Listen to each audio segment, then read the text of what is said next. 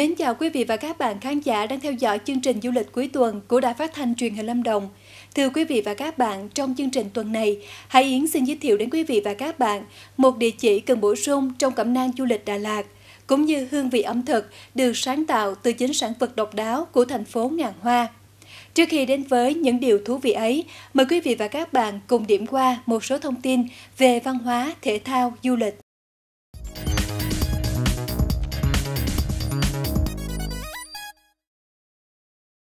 Trong những năm qua, tỉnh Lâm Đồng luôn quan tâm bố trí kinh phí để đào tạo bồi dưỡng nguồn nhân lực du lịch từ các chương trình hỗ trợ đào tạo nghề của tỉnh. Bên cạnh đó, các đơn vị doanh nghiệp kinh doanh du lịch có sự quan tâm trong công tác tuyển dụng, đào tạo, bồi dưỡng và sử dụng nguồn nhân lực du lịch phù hợp với mục tiêu phát triển. Tỷ lệ lao động được đào tạo, đào tạo lại, bố trí đúng ngành nghề, lao động có kinh nghiệm, trình độ ngoại ngữ tăng cao. Nguồn nhân lực du lịch phần lớn còn rất trẻ, độ tuổi lao động từ 18 đến 35 tuổi, chiếm hơn 60%.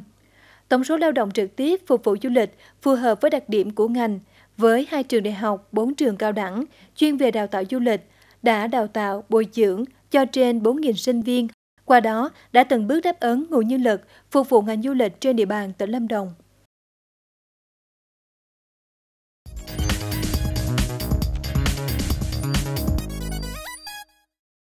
Trong những năm gần đây, lượng khách du lịch đến với huyện Lạc Dương khá đông và đạt mức tăng trưởng từ 10 đến 15% một năm.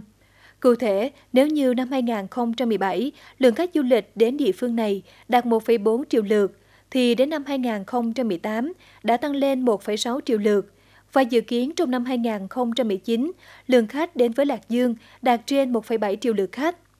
Với nhiều khu điểm du lịch được khai thác hiệu quả như du lịch sinh thái dưới tán rừng, du lịch dã ngoại, nghỉ dưỡng, du lịch canh nông gắn với tham quan trải nghiệm các làng nghề truyền thống, khám phá văn hóa các dân tộc, người dân tộc thiểu số bản địa. Đây là những điểm hấp dẫn độc đáo để thu hút du khách đến với Lạc Dương.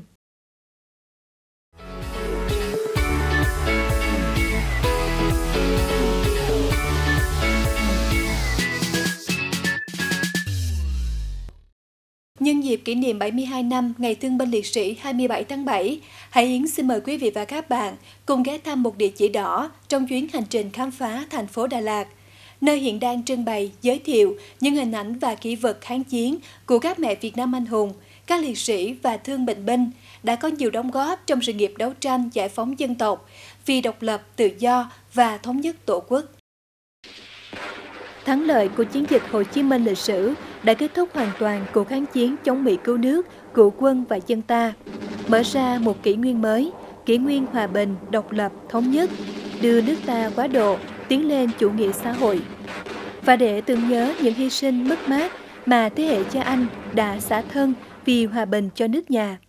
Bảo tàng Lâm Đồng đã tổ chức trưng bày chuyên đề mang tên Ký ức chiến tranh – nhằm tôn vinh tri ân những hy sinh đóng góp của các thương binh, bệnh binh trong hai cuộc kháng chiến chống thực dân Pháp và đế quốc Mỹ, cũng như trong công cuộc xây dựng và phát triển đất nước hiện nay.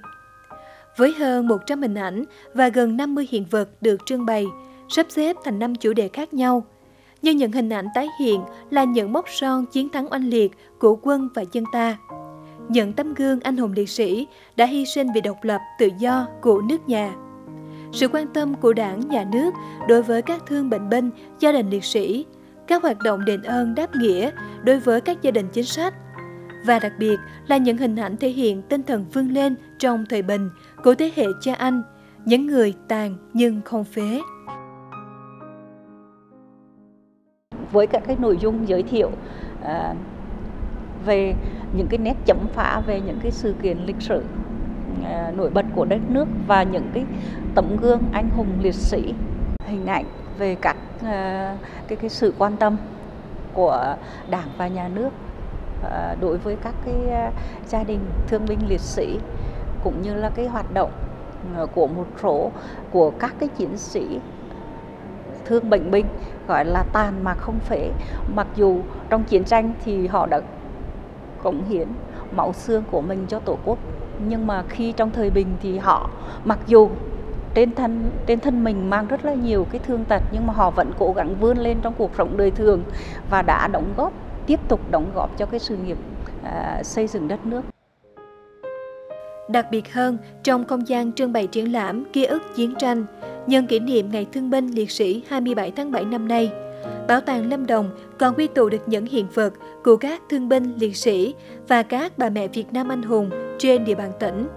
Trong số đó có thể kể đến những dụng cụ quen thuộc trong thời kỳ kháng chiến như đèn bấm thuộc, ca uống nước, đồng hồ, chiếc ví da, vẫn còn nguyên vết tích của chiến tranh để lại và cả những chiếc áo gối mà những người thân của các chiến sĩ cách mạng theo tặng. Cái cách sắp xếp trưng bày thì rất là đầy đủ và rõ ràng thì cái tiến trình đi tham quan cũng rất là dễ hiểu cho người xem. Thì sau khi mà tham quan một vòng cái phòng này thì mình thấy là rất là cảm biết ơn những cái người đi trước đã cho mình cái nền độc lập tự do như bây giờ. Triển lãm ký ức chiến tranh không chỉ là một địa chỉ trong chuyến hành trình du lịch Đà Lạt của thế hệ trẻ.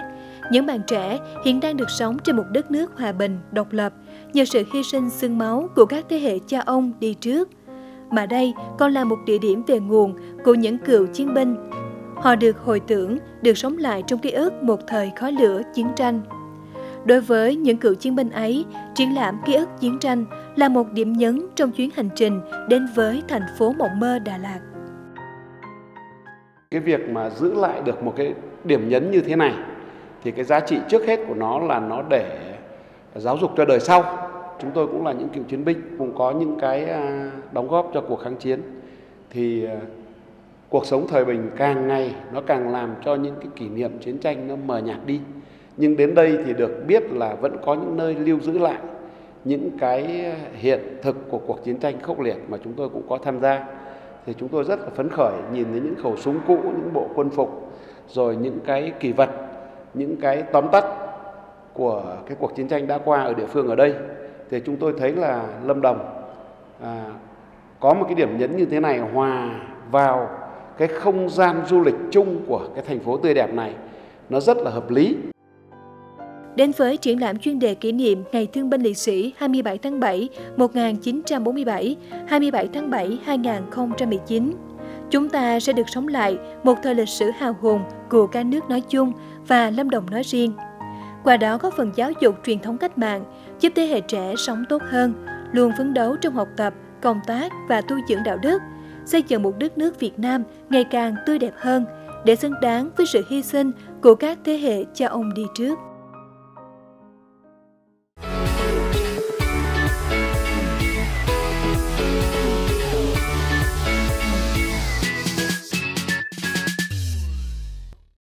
Đà Lạt, thành phố ngàn sương, vốn nổi tiếng với cảnh đẹp mê đắm lòng người, với những món ăn đã thử một lần là không thể quên. Và có một địa chỉ vừa mới xuất hiện tại Đà Lạt, một xưởng kem thủ công chuyên bán những món kem độc đáo làm từ hoa cỏ, trái cây đặc trưng của xứ sương mù.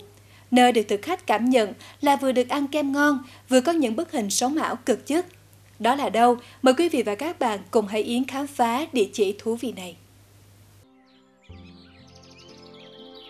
Một không gian lộng lẫy, cứ ngỡ như đang lạc vào khu vườn cổ tích của xứ thần tiên. Những ly kem mát lành với đủ màu sắc và mùi vị độc đáo. Và đặc biệt hơn, nguyên liệu chính làm nên những ly kem tuyệt hảo ấy, đó là những loại hoa đặc trưng của Đà Lạt. Kem hoa được xem là một trải nghiệm ẩm thực mới cho du khách khi đến với thành phố ngàn hoa Đà Lạt. Quán được dựng nên bởi đôi bàn tay tài hoa của chàng trai trẻ Lê Tô, sinh năm 1985. Người luôn mang trong mình mong ước được tái hiện những giá trị truyền thống vốn có của mảnh đất và con người Đà Lạt. Xưởng kem hoa ra đời ngay giữa những ngày hè Đà Lạt oai bức. Thế nên, sự mát lạnh và vị kem độc đáo của xưởng chính là chiếc xúc tác giúp xoa dịu cơn nóng cho thực khách khi đến đây và trong hàng loạt các món ăn vặt đã quá đổi quen thuộc của thành phố ngàn hoa.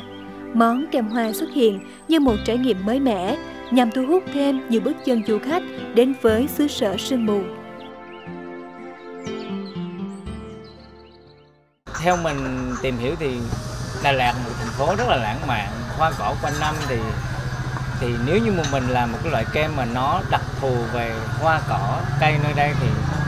nó sẽ tạo cho mọi người có một dấu ấn đặc đặc biệt. Ví dụ bên mình hiện tại là có những cái loại kem như là kem hoa hồng dâu tây kem hoa đậu biếc với đậu, vải ô long kem uh,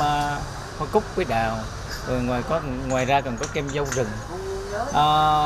ngoài những cái kem đặc thù của Đà Lạt mình có làm thêm những cái loại kem mà bên uh, bên Nhật hay là bên Hàn họ cũng rất là chuộng ví dụ như là kem thanh tre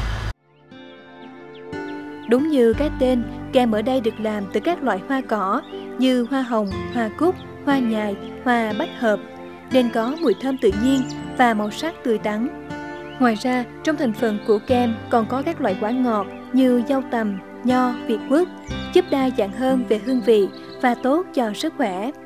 Kem hoa rất mềm, khi ăn có thể tan ngay trong miệng và để lại dư vị độc đáo. Nhiều người thậm chí còn ví phần kem ở đây giống như một khu vườn nhỏ và không thể không ghi lại những bức ảnh tuyệt đẹp trước khi thưởng thức. À, mình biết cái quán này thì thông qua một người bạn giới thiệu. À, Anh nói là một cái quán cà phê rất quán kem rất là thiên nhiên. Thì con mình thì mình muốn cái gì tốt cho con mình thì mình thấy thiên nhiên là mình đi thôi. Và thứ nhất thứ hai là mình thấy kem này nó rất là ăn nó lạ. Nó lạ một cái là nó không có giống như cái kem thường ăn Ừ, nó rất hương vị nó, nó, nó không thể nào mà giải thích được là nó lạ lắm mình mình ăn không thấy lạ rồi thì thấy nó cái trà rất thơm Điểm đặc biệt là tất cả các loại kem đều được làm thủ công ngay tại quán với các công đoạn minh bạch cho khách hàng. Khách đến đây thưởng thức hoàn toàn có thể là một chuyến khám phá các hoạt động của xưởng. Vì chọn đi theo phương pháp làm kem thủ công nên lượng kem bán ra chỉ đủ phục vụ cho thực khách trong ngày. Tại vì uh, Đà Lạt là thành phố hoa cho nên uh, kem ở đây cũng là được làm từ hoa cho nên mình tới đây mình muốn thử. Đã lên uh, Đà Lạt nhiều lần rồi cũng nhiều rồi trên dưới 10 lần rồi. Thì cũng ăn được nhiều món ăn của Đà Lạt đây là lần đầu tiên mình tới đây đồ ăn rất là lạ rồi còn được mix với lại uh, snack rồi trà cũng thơm ngon với mức giá dao động từ 20 đến 45 nghìn đồng cho một phần kem tùy chọn. Ngoài ra, quán cũng có bán những món ăn vặt và bánh ngọt để bạn nhâm nhi cùng bạn bè.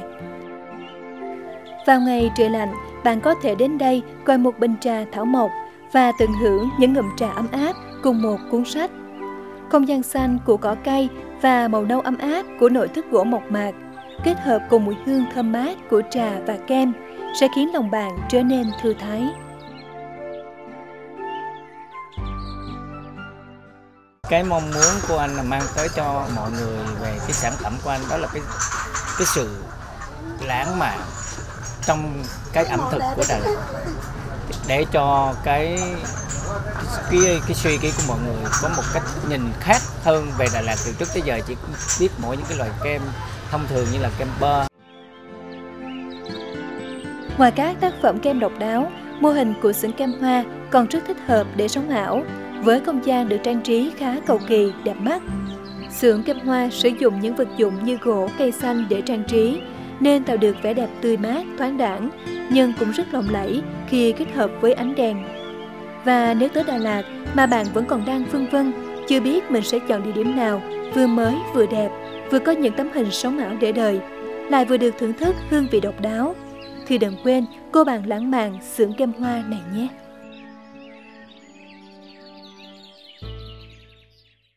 Thưa quý vị và các bạn, hương vị kem hoa độc đáo vừa rồi cũng đã khép lại chương trình du lịch cuối tuần hôm nay. Xin hẹn gặp lại quý vị và các bạn vào khung giờ này tuần sau để cùng Hải Yến cập nhật những thông tin du lịch thú vị và hấp dẫn. Xin kính chào tạm biệt và hẹn gặp lại.